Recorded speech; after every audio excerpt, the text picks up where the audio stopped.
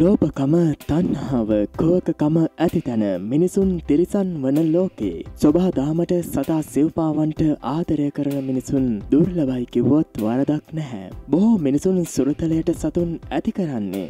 ආදරයට වඩා තමන්ගේ මාන්‍ය උසස් බව ලෝකයාට පෙන්වන්නටයි. එහෙම මිනිසුන් ඇති තැනක සතුන්ට ආදරය කරන මිනිසුන්ද ඉන්නවා. එවැනි පුවදක් මුහුණ පොතෙන් හමු වනා. තම නිවසේ ඇති කළ ආදරණීය සුරතලා මිය ගිය පසුව එම සතාගේ දේහය පෙට්ටියක දමා මේදන් කිරීමට තරම්.